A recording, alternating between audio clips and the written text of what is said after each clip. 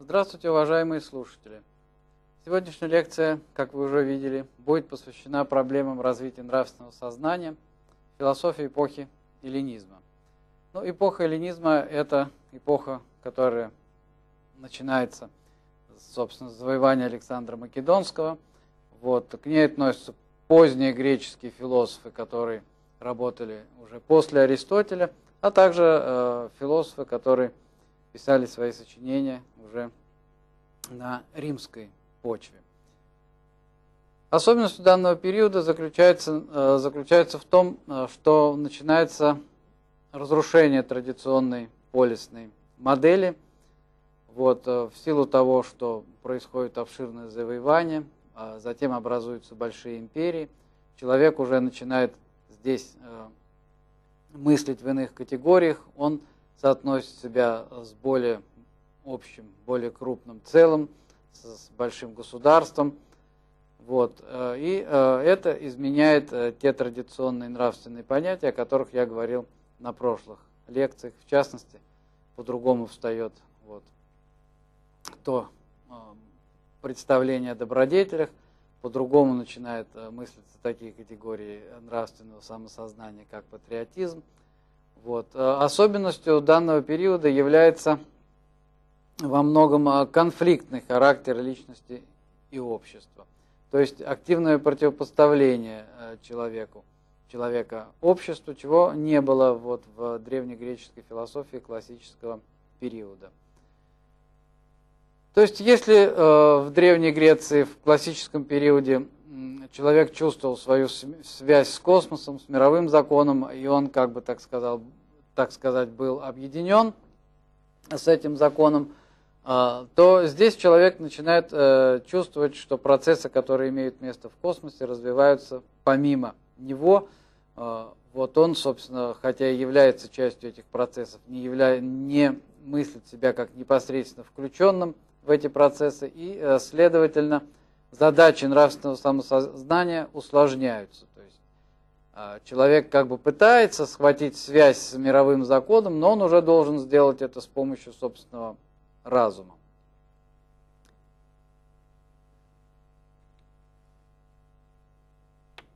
Значит, вопросы, которые будут рассмотрены э, в этой лекции, э, строятся по принципу основных э, философских концепций, которые здесь представлены.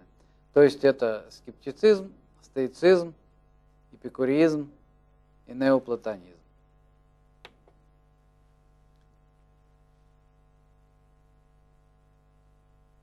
Я начинаю со скептицизма, потому что он весьма интересен тем, э, что э, в скептицизме, в скептической философии э, ставится под сомнение, можно сказать, даже отвергается традиционная для древнегреческой философии идея о том, что знания как таковые могут помочь человеку ориентироваться в мире, что знания и могут привести его к счастью, могут привести его к спокойствию духа в некоторых концепциях.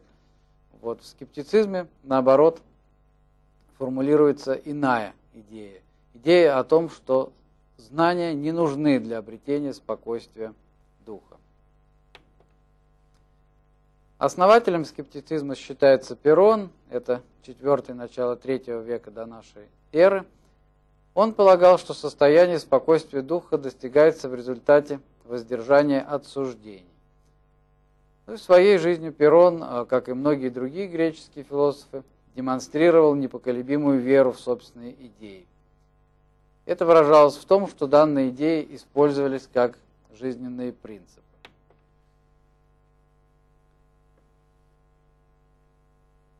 Считая мир непознаваемым, Перрон, по-видимому, полагал, что невозможно оценить и степень вероятности тех опасностей, которые нас в нем подстерегают. Поэтому он ходил по улицам, не замечая ничего, не опасаясь повозок, и от опасности его уберегали собственные ученики.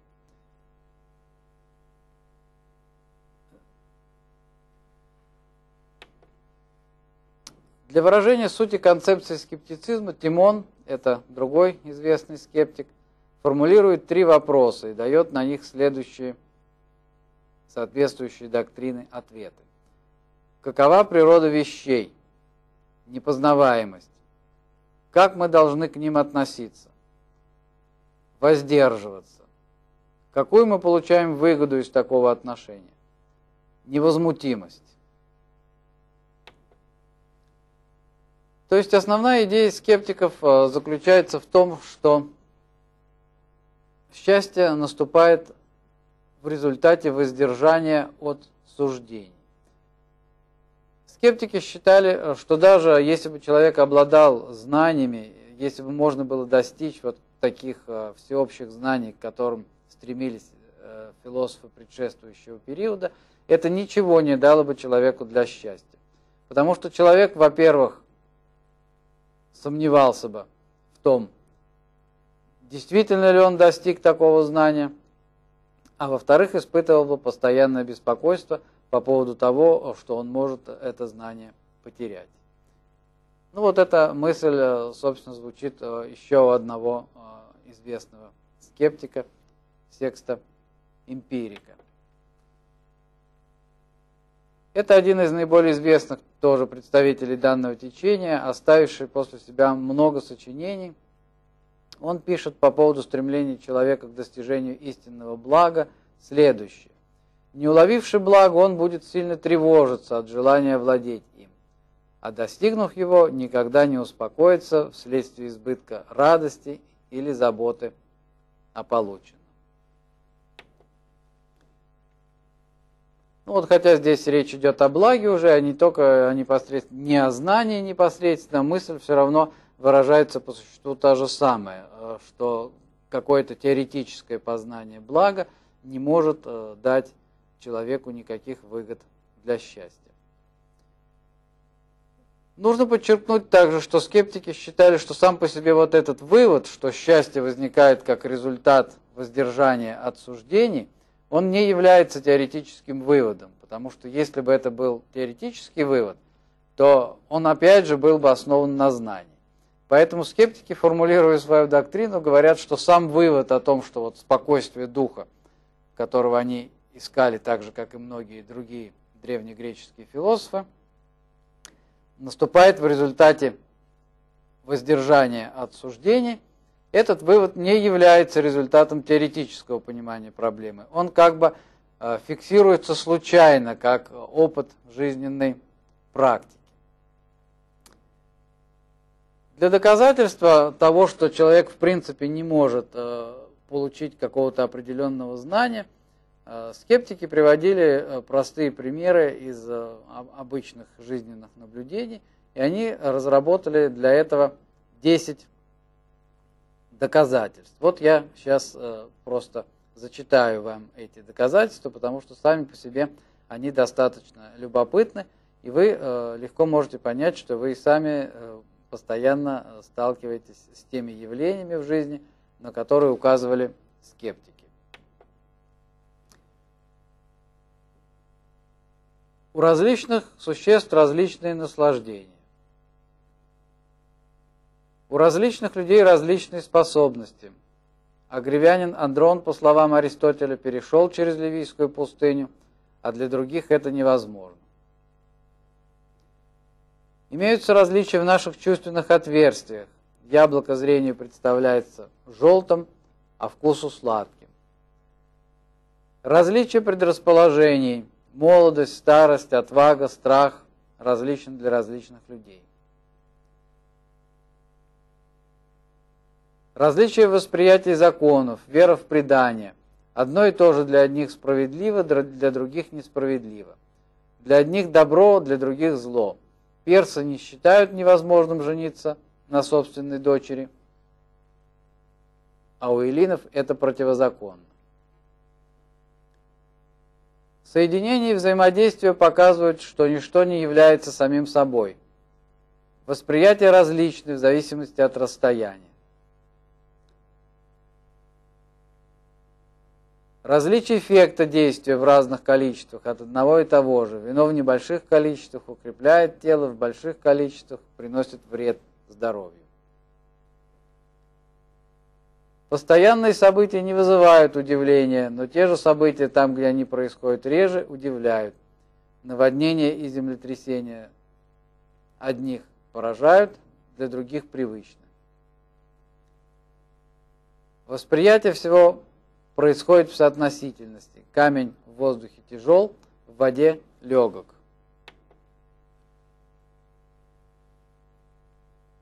Ну, как вы видите, э, эти принципы показывают относительность всякого человеческого знания. И действительно, знания наши относительны. Вот, э, формулируя э, вот, принципы скептицизма по существу, эти философы поставили очень важную проблему, которая заключается в том, что мы с вами вынуждены жить в мире, который мы до конца не знаем. И, собственно, уже совершенно ясно, что до конца никогда и не сможем узнать, потому что мир бесконечен, а жизнь человеческая конечна, и даже жизнь человеческого общества развивается в определенных временных э, пределах. Так что так или иначе, э, совершенно ясно, что мы вынуждены жить э, таком мире, который до конца мы познать не можем. Вот. Ну и отсюда у скептиков и следует э, вывод, что, собственно, и не нужно стремиться к такому знанию, что спокойствие может э, возникнуть просто как сопутствующий воздержанию от суждений результат. Ну вот э, сам Перрон, в частности, демонстрировал такое спокойствие во время кораблекрушения, когда он, указав э, беспокоящимся людям на поросенка, который в это время спокойно ел что-то из своего корыта, сказал, что так и должен вести себя каждый человек в этой ситуации.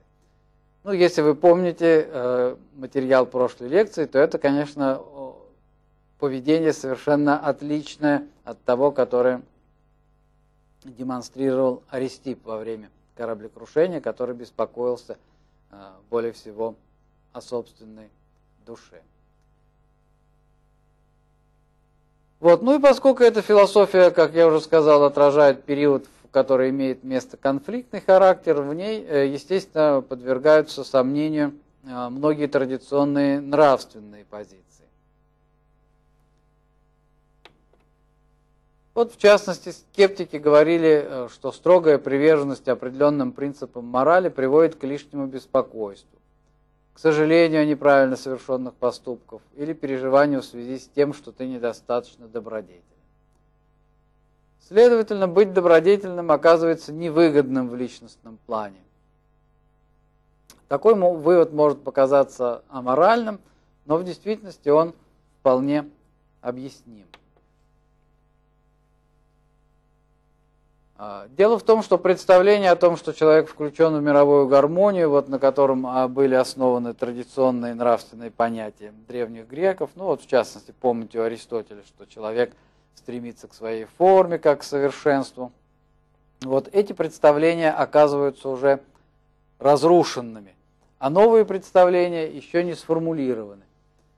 Вот э, это, в частности, и э, приводит к тому, что появляется такая безнравственная позиция. То есть вроде бы, вроде бы делается вывод о том, что быть э, нравственным невыгодно в личностном плане. Но, на мой взгляд, это можно объяснить только таким образом, что еще не найдены аргументы действительные, которые показали бы человеку, почему он действительно должен быть нравственным. И, собственно, что этика и после античности, после периода эллинизма продолжала делать. А, она продолжала искать такие аргументы, и современная этическая теория, собственно, тоже а, занята этими поисками. Вот, но э, скептики, особенно поздние скептики, не ограничились просто вот тем кругом идей, э, которых, э, о которых я сейчас сказал, потому что они, в общем-то, понимали, что все-таки в мире, в котором человек живет – приходится делать какой-то выбор, приходится принимать одни жизненные предпочтения, отвергать другие жизненные предпочтения. И э, этот э, выбор является необходимым, э, он должен на, на чем-то основываться. Вот здесь они попадают в трудную ситуацию, попадают в ситуацию, что э, с одной стороны они отвергают всякие основания, связанные с познанием, а с другой стороны вроде бы говорят о том, что выбор все-таки нужно делать. И вот э, поздние скептики, э, в частности представители новой Платоновской академии,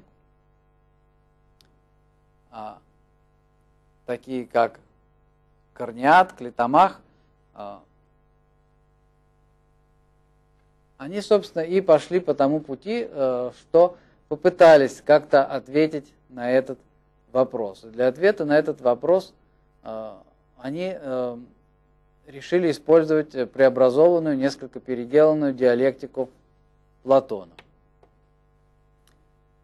Академики, в частности, Аркисилай, Корниат, Клитомах, полагали, что диалектика Платона – превращенная из средства достижения универсального знания в самоцель, отлично подходит для защиты идей скептицизма. Но ну, в то же время Корнеат понимал, что в процессе жизни приходится принимать какие-то решения, и знания могут оказать в этом помощь. Вот. Но выводы, которые можно получить с помощью такого знания, конечно, не являются вот, э, знанием, э, претендующим на, э, безусловно, веры, верный характер. Эти выводы имеют лишь вероятностное значение.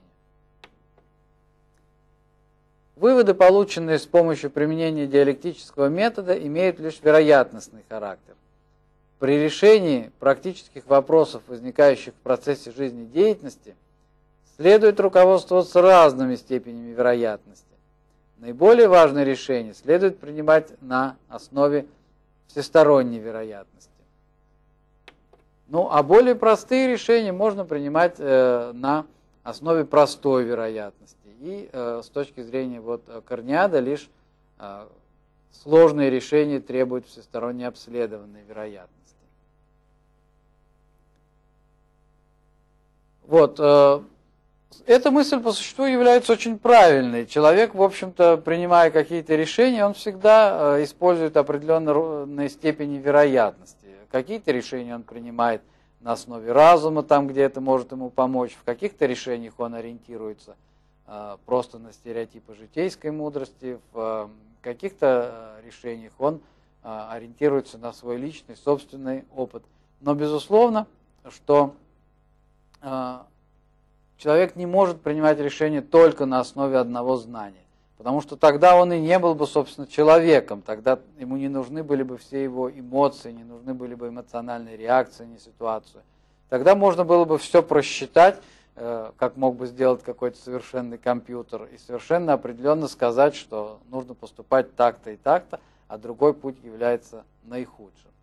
Вот. Но, э, или более худшим. У человека такой возможности нет. Поэтому вот э, как раз и получается, что он вынужден руководствоваться определенными степенями вероятности. И я думаю, что с такой постановкой вопроса в современном мире э, согласились бы, наверное, большинство философов. Но, тем не менее, э, у скептиков развитие подобной логики рассуждения приводило к моральному релятивизму и к выводам, которые имели в общем-то, нравственно отрицательный характер. Ну вот, в частности, Корниат, о котором я уже говорил, э, когда-то был в посольстве, э, которое приехало, древнегреческие послы, в Римскую республику, и там э, прочитал несколько лекций. Так вот, в первой лекции он утверждал, что нужно быть добродетельным, что нужно выполнять свои обязанности перед государством – ну, в общем, развивал вот такого порядка традиционные взгляды. Вот. А, а во второй третьей лекции он, наоборот, утверждал противоположные тезисы, показывая, э, что если бы рассуждать с точки зрения справедливости, то э, римскому государству пришлось бы отдать все завоеванные им территории. И э, что во время кораблекрушения нужно спасать прежде всего себя, а не других. Вот. Естественно, такие противоречия вызвали возражения многих, в частности, вот возражение сторонника, защитника традиционных нравов римского полководца Катона. Вот. Но для скептиков э, это не было необычным. То есть, э, собственно говоря, э, одну из задач философских скептики видели вот в таком постоянном интеллектуальном поиске. То есть разум – с их точки зрения, для того и нужен человеку, чтобы формулировать какие-то тезисы, и эти тезисы затем опровергать, демонстрируя ограниченности теоретического познания. Вот. Ну, здесь, конечно, они тоже попадают в несколько затрудненную ситуацию, связанную с тем, что можно им задать вопрос такой риторический. Но зачем все это нужно? Неужели, так сказать, для того, чтобы вот, э, показать невозможность человеческого познания, нужно тратить столько усилий, то, то есть нужно постоянно формулировать разные тезисы и их опровергать. Но для скептиков э, это не было необычным. То есть в этом они и видели задачу теоретического философского знания.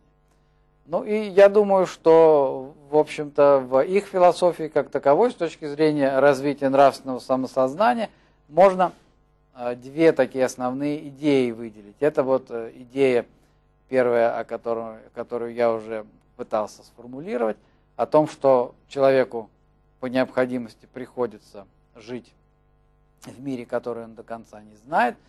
А, и вторая идея – это идея о том, что практика оказывается выше познания. То есть человек практически может уловить, что жить в этом мире, а, воздерживаясь от суждений, лучше, чем произнося какие-то категорические суждения о Следующий интересный мыслитель, к которому я сейчас перехожу, это Эпикур. Вот, и следующий вопрос нашей лекции, соответственно, эпикуризм.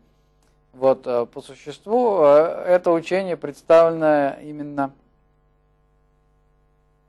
одним мыслителем, то есть автором его Эпикуром. Теоретические основы эпикуризма сформулированы одним философом, его основателем Эпикуром. Вот вы видите тут годы его жизни, 341-270 до нашей эры. В 306 году он организовал школу в Афинах и начал э, пропагандировать свое учение. Последователи же Эпикура просто пересказывали его идеи, не внеся в учение ничего принципиально нового.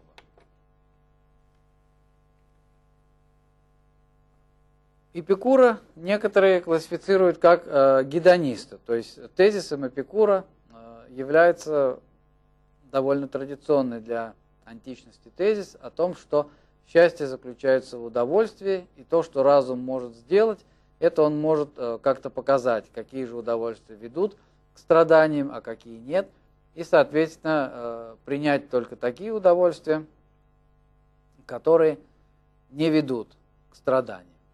Но в действительности классифицировать Эпикура как гедониста можно э, с очень большими оговорками, потому что его удовольствия, во-первых, очень элементарны, вот, а во-вторых, Эпикур э, признает только удовольствие состояния и не признает удовольствие процесса. То есть, если говорить о принятии пищи, например, удовлетворение, удовольствие и связанный с этим идеал спокойствия духа, к которому, в общем, Эпикур стремился так же, как и другие мыслители эпохи эллинизма, а, собственно, этот идеал, он был характерен, идеал счастья как спокойствие духа, для всех а, мыслителей эпохи эллинизма. А, вот. Значит, Эпикур признает удовольствие только от состояния удовольствие, которое связано не с процессом потребления пищи, а с состоянием удовлетворения, то есть э, состоянием, которое показывает, что ты не голоден. Вот. Ну и отсюда ясно, что довольно сложно его характеризовать исключительно как гедониста, потому что другие гедонисты, они как раз, вот тот же Аристип, в частности, э, о котором я говорил, они-то как раз и признавали удовольствие не только состояния, но и удовольствие процесса, то есть удовольствие от а, потребления вкусной Удовольствия разделяются эпикуром на три класса.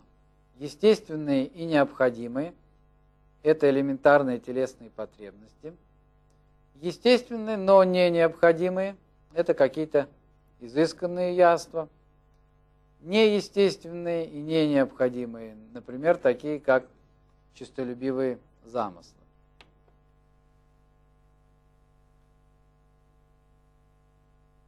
Вот. Ну и из этих э, перечисленных удовольствий э, Эпикур, в общем-то, выбирает только первую группу удовольствий. То есть он говорит, что если в какой-то степени вторая группа удовольствий вот, и может быть оправдана, э, то, в общем, есть много соображений, которые можно привести против этого оправдания. Ну, например, то, что привыкнув к употреблению хорошей пищи и потеряв возможность ее употребления, человек может впасть в очень существенное беспокойство. Вот. Но что касается третьей группы удовольствий, то есть вот этих честолюбивых замыслов, а, то это вообще ни при каких условиях неприемлемые виды удовольствий. Предел величины наслаждения, говорит Эпикур, есть устранение всякой боли. Где есть наслаждение, и пока оно есть, там нет ни боли, ни страдания, ни того, ни другого вместе. Добродетели для нас предпочтительны не сами по себе, а ради приносимого ими наслаждения, как лекарство для здоровья. Ну, вот это тезис, э, который э, вообще во многих этических теориях формулируется как тезис, направленный против всякой абсолютистской морали. То есть, если в абсолютистской морали добродетель рассматривается ценной в качестве себя самой, и счастье рассматривается э, как жизнь в соответствии с добродетелью, при этом ничего больше для счастья оказывается и не нужным, так говорил, например, Сократ, то противоположно этому мораль. Заземленная, мораль, которая против абсолютов, говорит э, всегда по-другому. Говорит, что добродетель, добродетель это не цель, а только средство. Вот в данном случае средство для того, чтобы жить не э, испытывая никакой печали. Ну вот можно подтвердить э, э, эти тезисы э, словами самого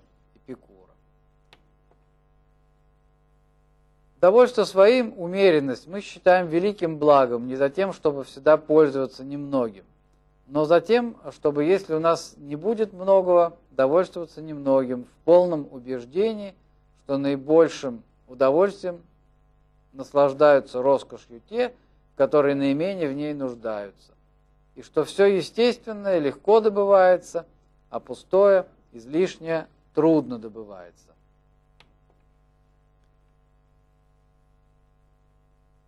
Ну, вот это э, рассуждение, которое подтверждает тот тезис, который я сказал несколько, произнес несколько ранее, тезис о том, э, что от э, удовольствий, которые и кажутся естественными, например, от э, удовольствий, возникающих в результате потребления вкусной пищи, все-таки лучше отказаться, потому что это при определенных обстоятельствах может привести к лишним беспокойствам, к лишним беспокойствам.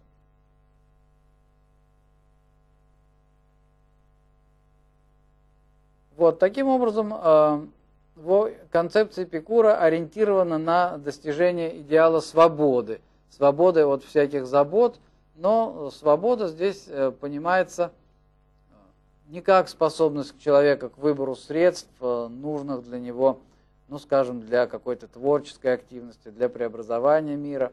Свобода понимается исключительно как э, свобода, связанная с обретением независимости от мира – преодолением э, беспокойств и страхов, которые у человека могут возникнуть э, в связи с его э, отношением к миру. Вот в, в развитии данной проблематики Эпикур формулирует весьма интересный подход к изучению явлений природы – он начисто отрицает какую-нибудь методологическую роль философии в развитии, естественно, научного знания. Вот. Э, в общем-то, отрицает и ее роль э, как средство, которое может помочь практическому ориентированию. В основном Эпикур э, рассматривает необходимость изучения природы, даже и не философского знания, а вообще естественно-научного знания, исключительно – в связи с задачей преодоления страхов. Необходимость изучения явлений природы Эпикур всецело подчиняет задаче достижения спокойствия духа, что как раз и обретается по мере того, как индивид получает относительную независимость от мира.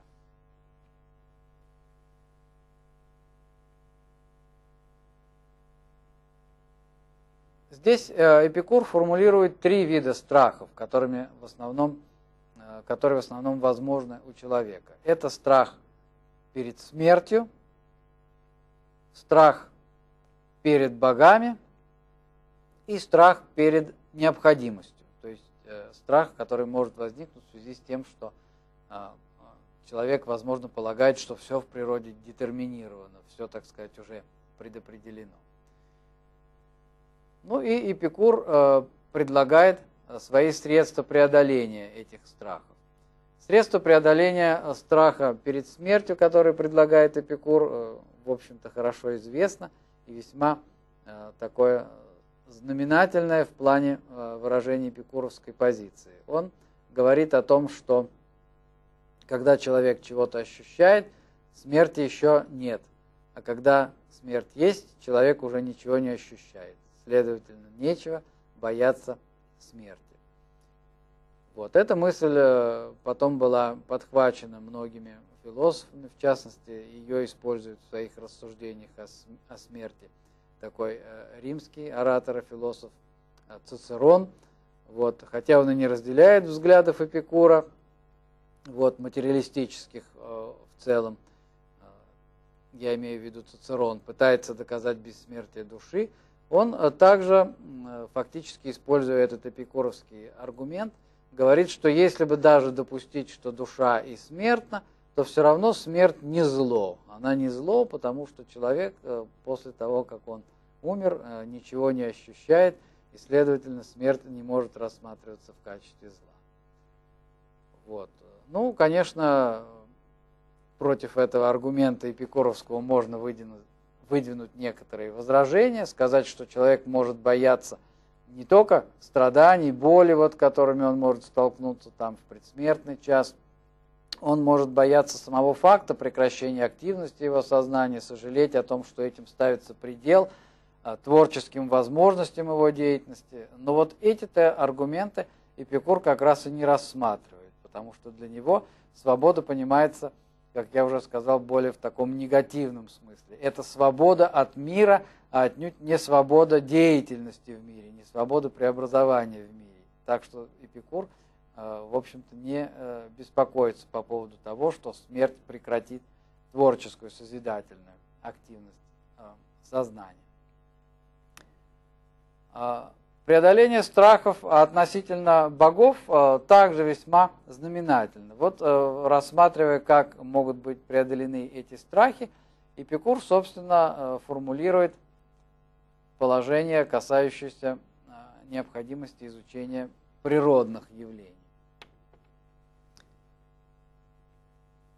Если бы нас нисколько не беспокоили подозрения относительно небесных явлений, говорит Эпикур, и подозрения о смерти, что она имеет какое-то к нам отношение, а также непонимание границ страданий и страстей, то мы вообще не имели бы надобности э, в изучении явлений природы.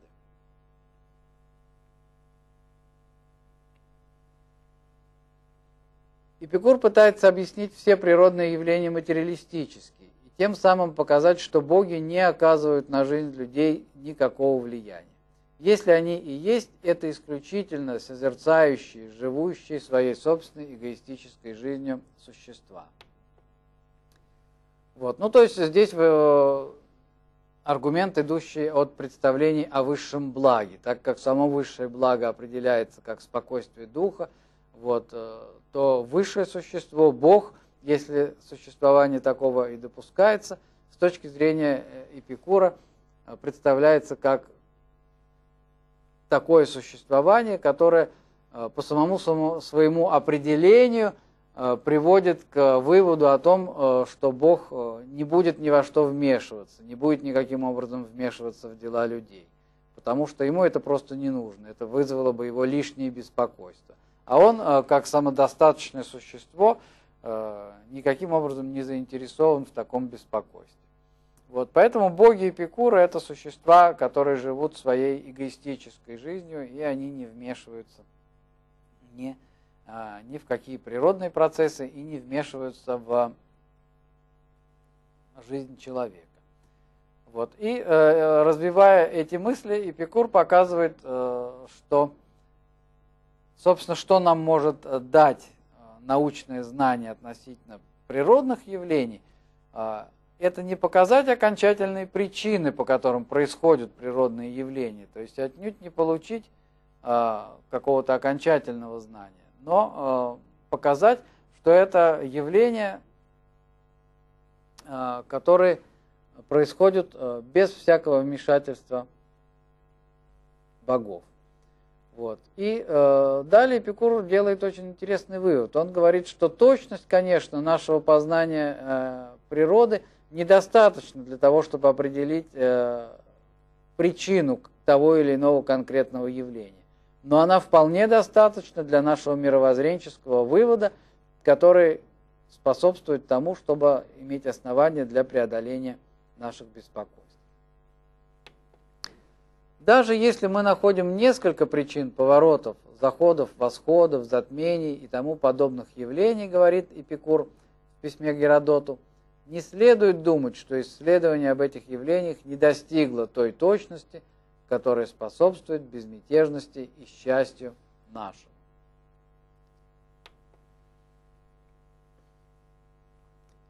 Вот, то есть, рассуждая о небесных явлениях, э, Эпикур говорит, что, например, э, смена дня и ночи э, может вызываться разными причинами. Может быть, Солнце вместе с небесным сводом движется вокруг Земли – вот, может быть, между Землей и Солнцем проходит некоторая черная пелена. Вот, а может быть, Земля вращается вокруг своей оси. Такое представление, в общем-то, тоже имело место в древнегреческой философии. Точно мы этого никогда не, не узнаем, говорит Эпикур. Но э, тех знаний, которыми мы обладаем, вполне достаточно, чтобы сказать, что все это происходит по естественным причинам. Что, следовательно, боги никаким образом не вмешиваются в этот процесс, э, и опасаться их у человека нет никакого основания. Вот. Э, ну и э, я хочу развить данную мысль в том плане, что и мы с вами живем в таком мире, в котором часто не можем дойти до конечной причины в объяснении какого-то явления. Поэтому, в общем-то, та методология, которую предлагает Эпикур, вполне может быть э, принято с точки зрения вот определения того предела точности научного знания, которое необходимо для философского вывода. И здесь э, недостаточность знания не может быть основанием для принятия полностью скептической позиции. То есть этот аргумент Эпикура очень хорошо работает против скептиков как раз. Работает в том плане, что хотя мы не имеем достаточного знания, это знание в то же время достаточно – для того, чтобы сделать э, какой-то важный мировоззренческий вывод и далее использовать этот э, вывод э, для практического выбора, для, для практического поведения. Вот. Ну и третий род страхов, страх перед необходимостью преодолевается за счет весьма интересной новой уже онтологической концепции, которую сформулировал Эпикур, за счет идеи отклоняющегося атома природе с точки зрения Эпикура не все жестко детерминировано. То есть атомы могут самопроизвольно отклоняться от траекторий своего движения, и это вызывает случайность. То есть Эпикур не был сторонником вот, жесткого детерминизма, который в философии уже нового времени получил название лапласовского детерминизма и, собственно, составил а, основу механической картины мира. Эпикур считал, что в мире имеет место случайность. Ну, а вот то, как использовать эту случайность, как приспособиться к обстоятельствам, вызванных теми или иными случайностями, зависит уже от самого человека. Случай сам по себе не дает людям ни добро, ни зло. Он доставляет э, только начало великих благ или великих зол. Последнее же зависит от того, как человек использует этот случай, или, иначе говоря, как он отреагирует на непредвиденное воздействие внешнего мира. Это уже не просто преодоление страха перед необходимостью, но и новый шаг в понимании реактивной природы субъекта. его способности по-разному организовать жизнь в разных обстоятельствах.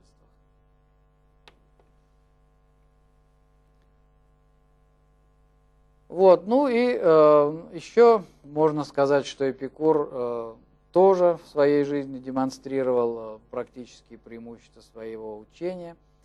Вот, во-первых, в школе Эпикура э, осуществлялась э, очень развитая психотерапевтическая практика, то есть людям там помогали избавиться от лишних страхов, от лишних ненужных желаний, и этим во многом объясняется длительность существования эпикуризма, который, в общем, просуществовал сколько э, что-то около 600 лет, что, в общем-то, для философского учения является, согласитесь, сроком весьма немалым. И э, идеи Эпикура потом уже э, были воспроизведены в новое время, о чем я скажу в дальнейшем. Ну и Эпикур сам преодолел собственные страхи. В частности, по свидетельству современников, он умер очень спокойно, когда он испытывал уже очень сильные боли, вот, э, связанные с мочеиспусканием, то есть, по-видимому, у него были какие-то урологические заболевания. Он э, выпил неразбавленного вина, лег в горячую ванну, предварительно простился со своими учениками, вот, ну и, собственно, в горячей ванне от перегрева организма умер. То есть фактически Эпикур дает один из первых примеров эвтаназии сознательного, активной причем э, эвтаназии, сознательного вот умерщвления самого себя, э, которое считается оправданным тогда, когда жизнь перестала доставлять э, наслаждение. То есть тогда, когда баланс между наслаждениями, удовольствиями и страданиями явно в пользу страданий. Вот следующее э, учение, о котором я буду говорить, это стоицизм.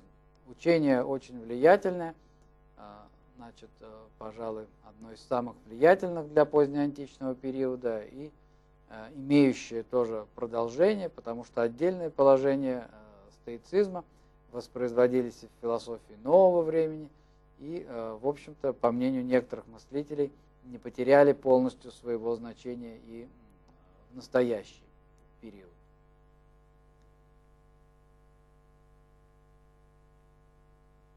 Вот, э, основателем э, стоицизма считается Зенон. Вот. И э, с ним однажды произошел вот такой любопытный случай. Значит, годы его жизни 333-262. Вот. А, Зенон был сторонником всеобщего детерминизма, как раз в противоположность Эпикуру. Поэтому однажды, когда он стал пороть раба за кражу, раб сказал, мне суждено было украсть, намекая на всеобщую необходимость. И суждено было быть битым, ответил Зенон.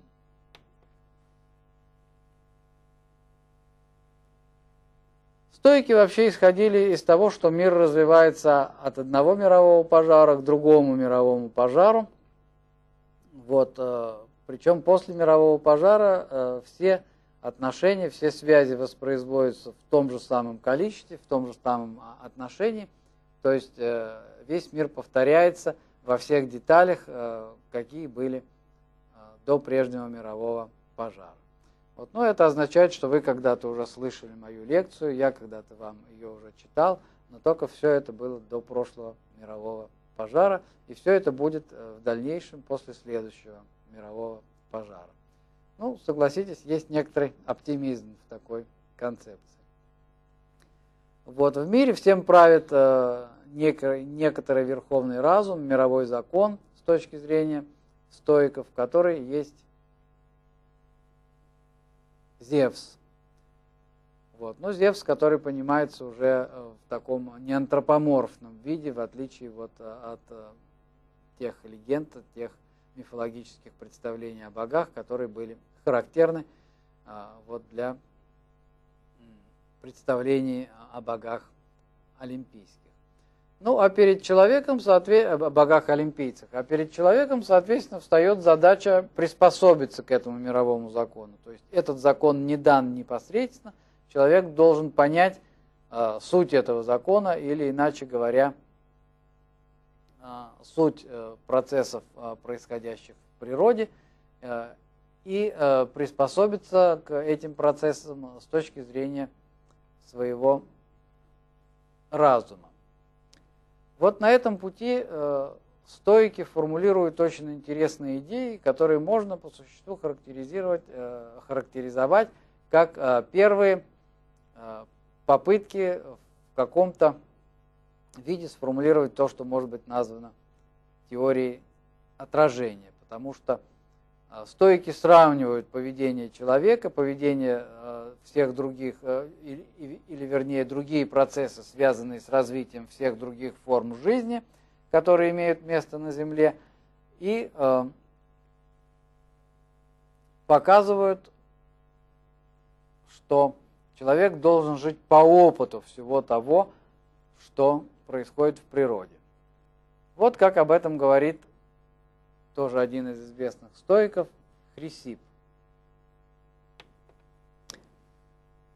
Первым побуждением живого существа, говорят стойки, является самосохранение ибо природа изначально дорога сама себе. Так говорит Христип в первой книге о конечных целях. Ближе всего для всякого живого существа его собственное состояние и сознание такового. В самом деле, ведь вряд ли природа создала его склонным к изменению или не склонным ни к изменению, ни к прежнему состоянию. Стало быть, приходится сказать, что от природы живому существу близко его состояние, и поэтому оно противится всему, что вредно, и идет навстречу всему, что близко ему. Мнение же некоторых, будто первое побуждение живых существ – стремление к наслаждению, они обличают как ложное, говорит Диоген Лаэртский, характеризуя учение стоиков. Вот. Ну и вот Хрисип, в частности, говорит, э, что э, имеются как бы разные детерминанты для разных форм жизни. То есть э, растения обходятся без всякого, без всяких наслаждений вообще. Животным дано побуждение, с помощью которого они находят то, что им надо – вот, а человеку дан разум в качестве верховного вождя, который должен показать, как же жить по опыту того, что происходит в природе. Вот. И, э, собственно говоря, эту концепцию можно назвать, как я называю, концепцией негативной свободы. То есть свобода, опять же, формулируется не в позитивном плане, как свобода преобразования мира, а исключительно в негативном плане, как свобода сохранения своего состояния. Но, тем не менее, э, этот тезис, даже вот выраженный в таком негативном плане, является очень важным, важным, потому что впервые э, разум начинает рассматриваться как э, то, что нужно человеку для ориентирования, что то, что может, так сказать, как-то показать человеку, на основе чего он должен поступать одним или другим образом. Вот в соответствии с концепцией стойков – а это происходит э, в силу того, значит, э, что человек должен понять, что нужно жить по опыту всего того, что происходит природе. То есть это уже э, отчетливо сформулированная рефлексивная способность человеческого разума. И я думаю, что здесь стойки в действительности делают очень большой шаг вперед, потому что, ну, Э, сравните, например, даже концепцию известного материалиста Демокрита. Вот как он понимал, что такое образы, которые возникают в сознании. Вот какие-то отпечатки, которые связаны с тем, что тонкие атомы проникают и вызывают в нашем а, мозгу какие-то изменения. Ну и что, так сказать, мало ли что вызывает изменения. Камень, лежащий на песке, вызывает изменения вот в а, самом песке, от него остается лунка, Здесь еще совершенно нет никакого движения к пониманию того, а, что же такое субъект, для чего нужно человеку сознание. А вот у стойков такое движение э, мыслится, видно очень отчетливо. То есть сознание, рефлективные способности разума оказываются нужными для того, чтобы понять, э, что жить нужно вот стремясь к сохранению своего состояния, жить по опыту развития всех природных процессов.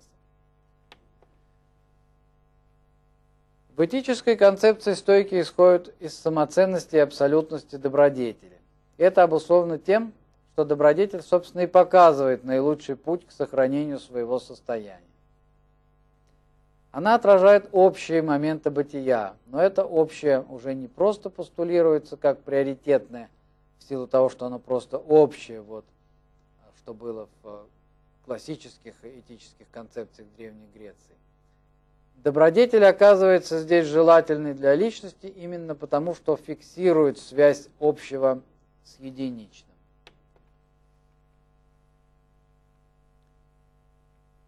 То есть э, добродетель оказывается ценной, потому что она показывает, э, как же наилучшим образом человек может воплотить в своей индивидуальной жизни э, некоторые общие моменты. И вот с этой точки зрения стойки рассуждают примерно так, что в мире вообще все проходит, все портится, все изменяется, не остается ничего постоянного.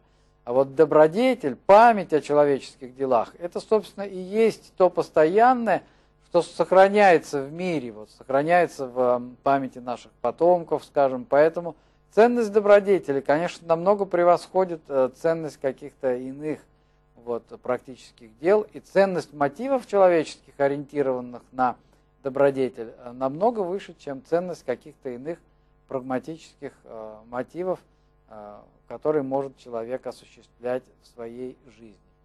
Вот в силу такого подхода стойки разделяют как бы сферы бытия на две, в общем-то, а, несовместимые, хотя э, и взаимопроникающие области. Это а, сфера нравственного бытия человека, сфера реализации его нравственных мотивов и э, область э, вот, иных мотивов, которые связаны с целеполаганием, с достижением иных каких-то практических целей.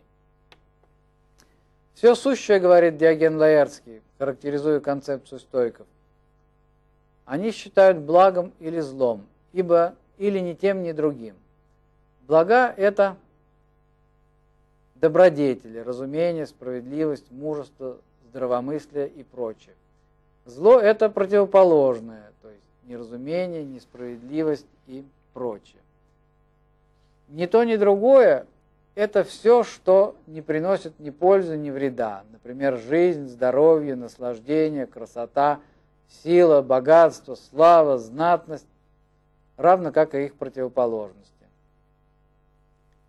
Смерть, болезнь, мучение, уродство, бессилие, бедность, бесславие, безрадостность и тому подобное. Вот, ну, а, видите, здесь такое резкое противопоставление, то есть добродетель с одной стороны и практические ориентации, даже такие ориентации, как вот забота о поддержании жизни, очень существенные, резко противопоставляется. Деятельность, направленная на достижение относительных ценностей, вот как раз на заботу о собственном здоровье, с точки зрения стойков составляет область надлежащих действий. Надлежащее – это то, что э, развивается, происходит в соответствии с собственной природой, например, рост растения, животных, вот, забота о здоровье – это все область надлежащих действий. Но от этих действий, то есть эти действия имеют разумное оправдание, но они как бы в концепции стойков э, не смешиваются непосредственно с тем, что может быть названо собственно нравственными действиями то есть такими действиями, в которых реализуются высокие нравственные мотивы. Например, гражданская деятельность, мужество на поле боя может иметь место. Но все это с точки зрения стойков важно не само по себе, а лишь как возможность проявления истинной добродетели, то есть достижения спокойствия духа от сознания выполненного долга. Жизнь попавшего в в беду друга является относительной ценностью. Но абсолютной ценностью является усилие, направленное на его спасение. А, таким образом, совершенно ясно, что здесь э, эти понятия не смешиваются. Я имею в виду вот э, нравственные мотивы, связанные с э, реализацией добродетели, и мотивы, связанные с заботой там, о собственной жизни, о здоровье. Вот. Отсюда и получается, что, так сказать, как вы видели, жизнь друга является а, относительной ценностью. Почему относительной? Потому что это все относится к области надлежащих действий, как вот проблема заботы о здоровье, э, желание избежать смерти и так далее. Но мотив является абсолютным, мотив направленный на спасение жизни друга. Вот. Отсюда, в общем-то, в концепции стойков возникает вот такое резкое противопоставление между нравственными мотивами и результатами нравственного действия. И стойки склоняются к тому, э, что, собственно, даже не склоняются, а формулируют этот тезис, что для нравственной оценки поступка важен прежде всего мотив поведения человека. Вот, поэтому неважно, скажем, продолжая вот э, этот пример, удалось спасти друга или не удалось спасти друга для оценки э, поступка. Важно именно то, что человек пытался это сделать. То есть вот важен именно мотив.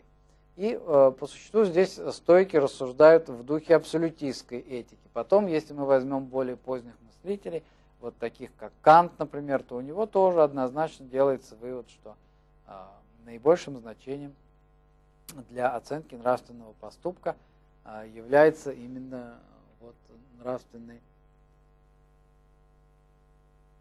мотив. Вот. Но тут возникает э, определенная трудность или даже противоречие. Если ценность признается только за намерением, результат реализации добродетельного поведения в земной жизни оказывается неважным. Но тогда обесценивается и значение практических умений, необходимых для реализации добродетелей. Скажем, умение владеть оружием, для того, чтобы быть мужественным и побеждать. Вот. Э, и э, следующим шагом отсюда закономерно оказывается э, формулирование вот того тезиса, который уже, собственно, сформулировала христианская философия. Это тезис о том, что каждый человек должен рассматриваться как равная величина. Почему? Потому что, собственно, его практические достижения и даже, так сказать, в общем-то, во многом умения, которые необходимы для реализации этих практических достижений, оказываются неважными. А, вот. Они выходят за область нравственной оценки, так сказать. Областью нравственной оценки оказываются мотивы, направленные на вот, выражение твоего отношения к другому человеку, независимо от того, кто он, независимо, допустим, от того, кто он, раб, политический деятель или вот, э, великий полководец и прочее. Вот, э, это, в общем-то, такой тезис, имеющий вполне разумное нравственное оправдание. На основе него формулируется идея о том, что все люди равны, скажем, равны люди илинского и неилинского происхождения. Вот этот тезис, который был сформулирован уже в поздней стое. Но вот э, он достаточно сложен для того, чтобы объять другую область нравственной оценки. Область, э, связанной, э, связанную с оценкой, с определением того, насколько же человек отвечает за а, практический результат своего действия. Вот эта проблема была несколько подкорректирована в средней стои, представленной Панецием, Посейдонием. Они смягчают исходное положение стоицизма, полагая, что для счастья необходимы не только добродетель, но и относительные ценности. Такие, например, как здоровье, богатство. Панеций – около 185-110 годов до нашей эры, разделяет также умственную и действенную добродетель. Ну и вот э, как раз в этом разделении можно увидеть движение э, к пониманию значения единства мотива и результата поступка для его оценки. Ну, э, значит, э, потому что, конечно, в практическом плане важно, не только, важен не только мотив, но и важен и тот результат, э, который достигается в результате того, что осуществляется нравственное действие.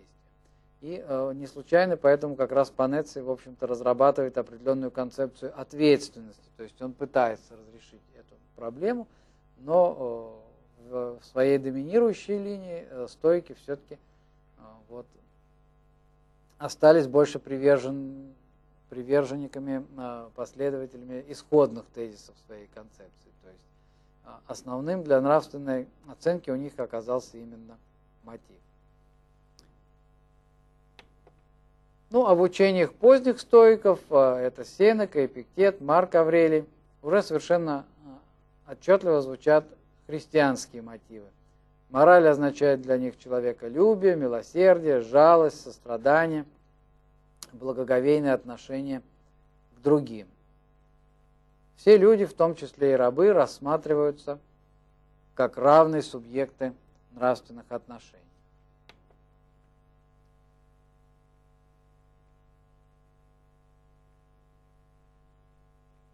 Значит, э, характеризуя такие общие достижения концепции стоимости стойков, или даже вернее, э, перед тем, как перейти к этой характеристике, стоит еще сказать об одной э, важной посылке теоретической. Это посылка, связанная со стремлением стойков поставить под контроль человеческого разума эмоции. Вот. Ну и это связано с определенным теоретическим пониманием того, что же есть эмоции. То есть стремясь все к тому же идеалу достижения спокойствия духа, а, стойки пытаются более детально по сравнению с другими античными авторами разобраться в том, а что же вызывает это беспокойство. И а, вот в этом плане они формулируют достаточно интересную концепцию о связи нашей эмоциональной жизни с нашими разумными представлениями или иначе говоря, с нашими верованиями. Страсть, по словам Зенона, есть неразумное, несогласное с природой движение души или избыточное побуждение. Эмоции, страсти предстают при подобном подходе как суждение, причем чаще всего суждение неправильное, ибо неразумных страстей гораздо больше, чем разумных. Например, сребролюбие с этой точки зрения есть неверное предположение о том, что деньги есть благо. И э, преодолеваются подобные суждения с помощью добродетели. То есть, э, с точки зрения стойков, достаточно просто изменить наше представление, изменить наше верование, и можно будет избежать негативных эмоций. Ну, например, достаточно э, перестать бояться того, что страшно. Стойки считают, что страх возникает исключительно из-за того, что люди считают те или иные события э, или условия страшными, хотя в действительности они таковыми не являются. Поэтому, изменив вот соответствующие представления, можно э, достичь э, контроля над своими эмоциями. Вот. Ну, эта концепция, конечно, представляется мне достаточно ограниченный в силу того, что стойки совершенно не видят, что эмоции готовят человека к будущему действию. То есть они могут э, мобилизовать какие-то ресурсы организма для того, чтобы подготовить человека к тому, что ему надо участвовать в бою, надо бежать, допустим, или наоборот, надо любить и так далее. Ну, а страх э, – это лишь одна из возможных ситуаций, это просто так называемый пассивный стресс – с природной точки зрения он имеет вполне разумные основания. То есть, если перед тобой сильный противник и сопротивляться все равно не имеет смысла, имеет смысл просто затаиться, никуда не бежать, может быть, тебя не заметят. Поэтому, так сказать, природное оправдание страха, который связан с оцепенением, это вот как раз так называемый пассивный стресс. Но стойки совершенно не мыслят в этом плане, то есть они прямо полагают, что наши эмоции идут вслед за нашими представлениями. А, и что удивительно, в общем-то, эта концепция имеет современное а, продолжение. Например, а, я в свое время, вот, когда был в Соединенных Штатах Америки, беседовал с одним из ведущих этиков, Марфой Насбаум, и участвовал в конференции, посвященной вот, ее творчеству.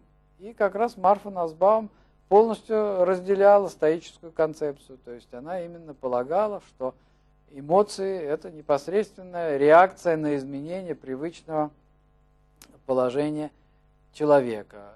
Если вот, а, нет такой привычки, то, соответственно, и не возникают соответствующие эмоции. Ну вот в своей лекции она, например, приводила пример, что когда умерла ее мать, она испытывала жуткие негативные эмоции, связанные с болью в животе, вот, буквально с физиологическими изменениями организма. А, но все это только потому, что значит, она привыкла жить э, со своей матерью. Мать являлась постоянной частью ее окружения. Вот. Если бы этого не было, так как, например, это не было вот у героя э, романа Сартра посторонний, то он бы и не было бы, соответственно, никаких связанных э, с потерей эмоций. Вот. Ну, я, конечно, думаю, что эта точка зрения недостаточна, особенно тогда, когда мы имеем весьма развитую теорию эмоций в психологии, физиологии высшей нервной деятельности. И современная философия должна вот, принять в свое содержание также и э, все эти достижения современных концепций.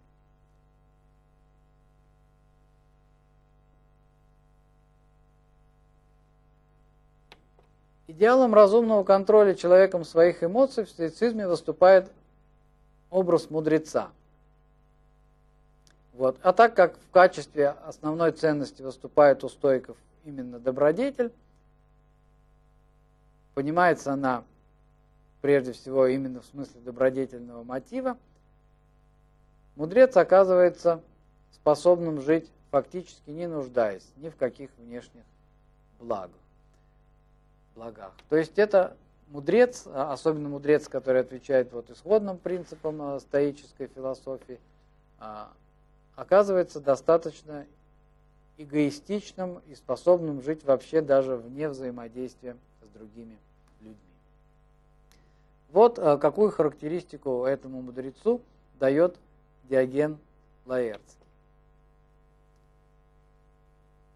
Он непогрешим, ибо не подвержен ошибкам. Он не вредоносен, ибо не несет вреда ни другим, ни себе. Он не жалостлив и не знает снисхождений никому, так как не отменяет никаких наказаний, следующих по закону.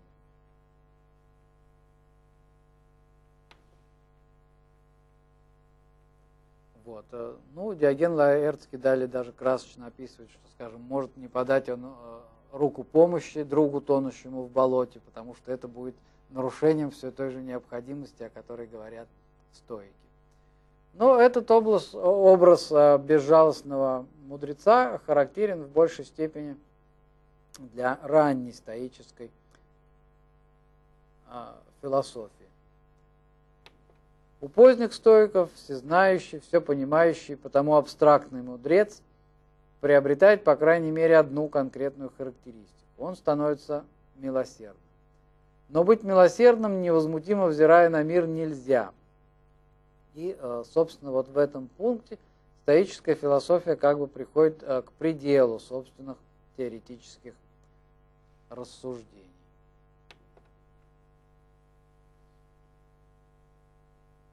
Вот. Ну и предел этот э, уже был связан с развитием христианской философии – и, собственно говоря, что во многом показало вот философия эпохи эллинизма и греческо, древнегреческая философия в целом, а, это то, что мораль не может существовать без некоторого авторитетного источника морального добра. Вот. В христианстве таким авторитетным источником, естественно, становится Бог. То есть вот признание Бога как фактора – влияющего на нравственные мотивы поведения, как верховного судью и э, одновременно как тот авторитетный источник, который дает начало многим моральным нормам, то есть в том числе просто передает их э, человеку, э, такое представление э, кладет конец спорам античности о том, кем же хорошо быть, гедонистом или наоборот аскетом, как нужно действовать, спасать друга, не спасать. Вот, кем нужно быть, мудрецом или политическим деятелем. Вот. А, но эти выводы уже э, будут сформулированы в христианской философии, о которой я буду говорить э, на следующей лекции. Вот. Сейчас же я хочу э, рассказать еще об одной интересной античной концепции.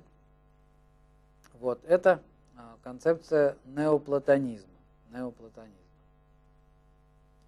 Вот. По времени своего существования это уже очень э, поздняя концепция. Она по существу конкурирует уже с развивающейся христианской философией.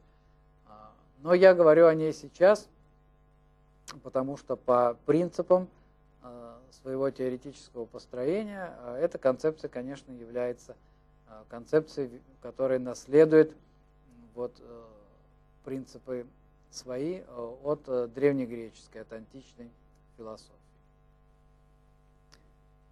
Ну, вот основатель этой концепции, Платин, годы его жизни 204-270, вот уже нашей эры – вот, строит он многоуровневую модель бытия, в которой все существующее объявляется созерцанием. И в этом смысле Платин, э, конечно, несомненно, завершает античную традицию.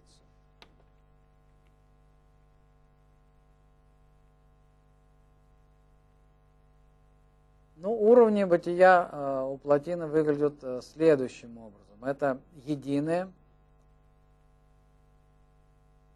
самый верхний уровень бытия. Ум, следующий, находящийся несколько ниже, что ли, э, в онтологическом смысле, уровень бытия. Далее находится мировая душа. Вот, и вслед за мировой э, душой расположено все многообразие конкретных вещей. При этом единое является самодостаточным началом бытия, но оно эманирует, как бы выходит э, за свои границы, порождая все другие уровни.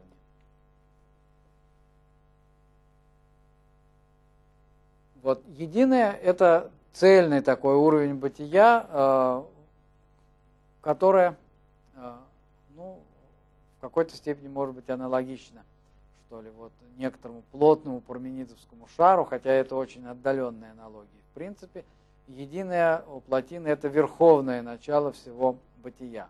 Но поскольку оно единое, в нем, как бы, так сказать, нет никакого многообразия. А мир многообразных вещей должен быть как-то объяснен.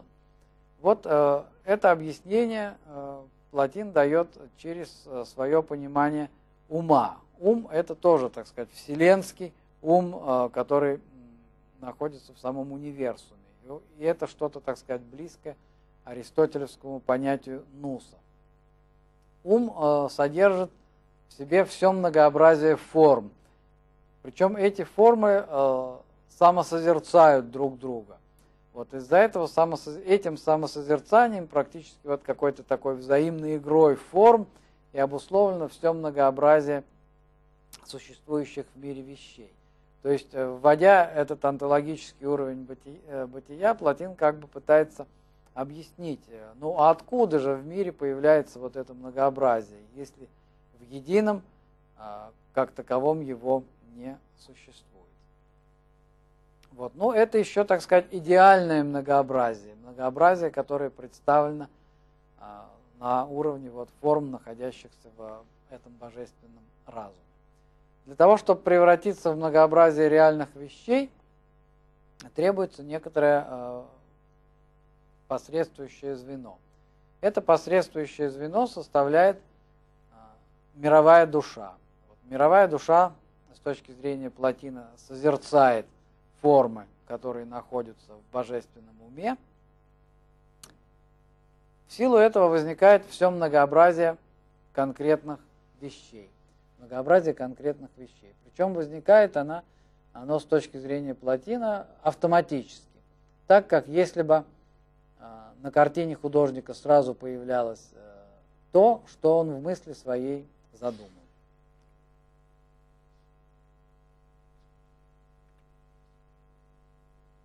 Вот. Э, то есть вы видите, что здесь э, все уровни бытия, как бы кроме единого, оказываются созерцанием. И э, само многообразие э, вещей материальных, возникающих в мире, э, тоже э, является результатом созерцания. Мир этот э, совершенен, поскольку все это имеет происхождение от единого, то все уровни э, бытия с точки зрения плотины совершенны, хотя степень этого совершенства различна. И э, на низших э, уровнях бытия э, в материальном мире имеет место также то, что может быть названо злом. Зло, согласно представлениям плотина, возникает как результат несовершенства материального мира но в общей гармонии универсума, и оно идет на пользу. Некоторые беды, говорит Платен, например, бедность и болезнь, идут на пользу только тем, кто их испытывает. Но моральное зло приносит пользу всему свету. Прежде всего тем, э, что оно позволяет э, проявиться божественной справедливости. Кроме того, оно приносит и другую пользу.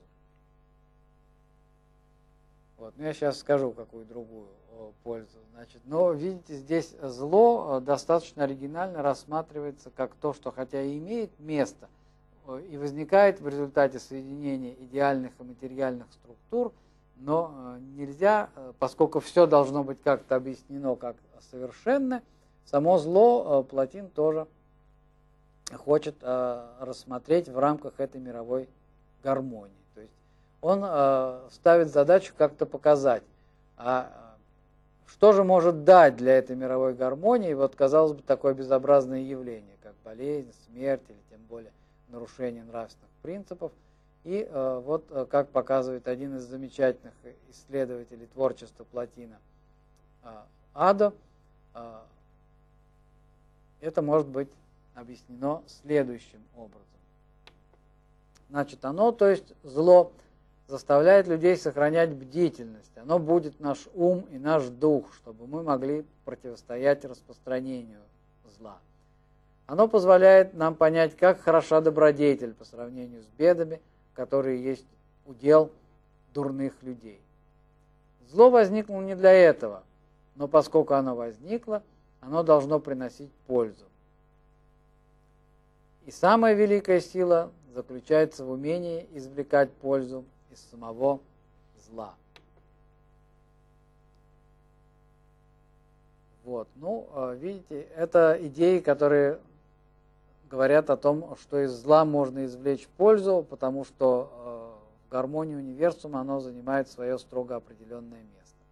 И эти идеи имеют а, продолжение тоже в некоторых христианских уже доктринах, в частности тогда, когда речь идет об оправдании Бога за то, что он допускает в мире существование зла. Но об этом я тоже буду говорить в следующей лекции. Вот. Э, сами нравственные задачи бытия э, человека в мире Платин э, рассматривает с точки зрения двух типов добродетелей. Одни – это общественные добродетели, такие как справедливость, мужество, воздержанность. Эти добродетели вот помогают человеку жить в мире, в, так сказать, в рамках его земного бытия. Но кроме этого есть еще очищающие добродетели. При их помощи душа отделяется от тела и обращает взор к Богу. Вот как это понимает э, Платин? Значит, как можно вот э, достигнуть такого возвышения души, отделения своеобразного от тела? Точки зрения плотины для этого надо отрешиться от, всем, от всего земного, то есть как бы отрешиться от множественного мира, от всего того, что мешает созерцанию Бога. В этом смысле человек может, э, как существо, способное разумом, э, э, наделенное разумом, также осуществить вот этот высший тип созерцания, в котором он отвлекается от материальных оболочек, от материальных предметов, от того, что связывает его с множественным материальным миром, постепенно поднимается к, ко все большим иерархиям и, наконец, в состоянии высокого экстаза может на какое-то время соединиться с единым. С точки зрения Платина это высшее эмоциональное состояние, э, которое одновременно является высшим напряжением, поэтому в нем нельзя находиться долгое время. И, э, значит, после того, как на какое-то время человек соединяется с единым, он опускается снова на более низкий уровень бытия. Но это соединение не проходит бесследно, в его душе остается, так сказать, след божественной любви, и этот след э, влияет э, на его отношение к другим людям, на его нравственную жизнь. Сам Платин несколько раз, э, как свидетельствуют его ученики, испытывал такое состояние соединения с единым. Вот. Ну и отсюда следует, э, что это э, соединение не проходит для человека бесследно, и, собственно, высшей задачей человека в жизни является стремление достичь такого созерцания. А, вот схема уровня бытия, которую предлагает Платин. Я уже называл эти уровни, на схеме к ним добавлен только еще, собственно, один уровень. Это человек – он э, помещен здесь между мировой душой и материальным миром. Потому что положение человека в мире с точки зрения Платина как раз двойственно. Он э, силой своего разума может подниматься к более высоким уровням бытия, но э, в силу вот своего, своей связи с материальным миром он обладает телесной оболочкой – в этом смысле он необходимо связан э, со злом, вот, э, и возможности его э, созерцания ограничены. Значит, эта схема интересна тем, что человек, что дальше, так сказать, развивая эту схему, Платин говорит, что сам человек обладает разными уровнями, так сказать, своей психической организации. Вот у него есть сознание, Сознание – это то, что связывает его с множественным миром, вот, то, что показывает, как жить в этом мире, и то, в чем, в частности, могут заключаться эгоистические мотивы деятельности, потому что в множественном мире человек всегда преследует собственные цели бытия, и в этом смысле он необходимо противопоставляет себя другим людям. У него э, с точки зрения плотины есть э, сверхсознание, это то, что связывает человека с единым, и то, что в целом определяет вот э, направление движения созерцания к Богу, к единому. И, наконец, у человека есть с точки зрения плотины еще третий уровень психики. Это уровень подсознания. Знаменательно, что современная психология, в общем-то, тоже выделяет три таких уровня психики. То есть это уровень сознания, это уровень подсознания, уровень действия психических автоматизмов. И э, так называемый уровень сверхсознания, уровень, где э, мы сталкиваемся с такими явлениями, как интеллектуальная интуиция, вот, которые тоже играют определенную роль э, в нашем творческом процессе и в жизни человека в целом. Так вот, в нравственном плане Платин делает очень интересный вывод. Он говорит о том, что в силу того, что сознание связывает нас с множественным миром, а, возможности действия человека сознательные, нравственные действия всегда ограничены. Поэтому на уровне подсознания человек в большей степени может действовать как нравственное существо. И вот э, этот знаменательный вывод, он действительно, в общем-то, является морально правильным, потому что во многих случаях, когда человек совершает нравственные действия, ну, например, бросается спасать своего утопающего товарища. Он не думает о том, почему он должен это сделать. Более того, если бы он начал об этом думать, э, ну, я приведу вам такой интересный для вас пример. Ну, например, он начал бы думать, вот, а кто из моих товарищей тонет? А может быть, вот, э, я отличник, а он учится только на хорошо. Так почему я должен его спасать, подвергая свою жизнь риску, когда она может быть более ценной? Чем в жизни этого тонущего товарища. Да и получится ли у меня его вообще спасти? Может быть, я и плавать-то хорошо не успею. И вот если вы встанете на такой путь, вот начнете так анализировать ситуацию, то, конечно, вы спасти вашего товарища не сможете, это совершенно ясно, он за это время просто утонет. То есть Платин здесь ставит огромную проблему, проблему, которая получает э, развитие далее уже в теоретической этике. Это проблема о том, как соотносятся э, рационально осознанные нравственные действия и как, а, как они соотносятся с неосознанными автоматическими нравственными действиями. Ну и Платин, конечно, не поставил здесь конечную точку, но он интересен тем, что он поставил эту проблему. В действительности решение вопроса может заключаться в том, что какие-то рационально обоснованные принципы, они затем могут быть вытеснены в сферу подсознания – и э, даже если человек действует автоматически как нравственное существо, это не означает, что это все обходится без предварительного рационального анализа ситуации. Но это только одно решение проблемы, так сказать. В действительности вопрос выглядит сложнее, потому что иногда э, для того, чтобы избежать негативных нравственных эмоций, человек может э, совершать и абсурдные с точки зрения нравственного, с точки зрения чистого разума действия. Ну, например, он может пытаться спасать человека в такой ситуации, когда это сделать явно невозможно. Вот. Кропоткин, например, в своей книге «Этика» приводит описание такой ситуации, когда английские моряки пытались выйти в море на плоскодонной лодке, чтобы спасти э, ребенка, плач которого они слышали с мачты затонувшего во время шторма корабля. Вот. Ну, естественно, у них это не получалось. То есть погибла одна группа, другие моряки видели гибель этой группы. Вот, э, значит, но они все равно не прекратили попытку. Значит, была сделана следующая попытка, еще несколько моряков погибло. Вот, но попытки не прекращались до конца ночи, а утром ребенка спас э, проплывающий мимо другой корабль. То есть вот это как раз э, показывает, что мораль это не только разум, и действительно на уровне чувств и на уровне некоторых подсознательных механизмов человек способен э, действовать э, даже более нравственно, чем вот, пользуясь э, своим разумом в осмыслении как, каких-то нравственных проблем.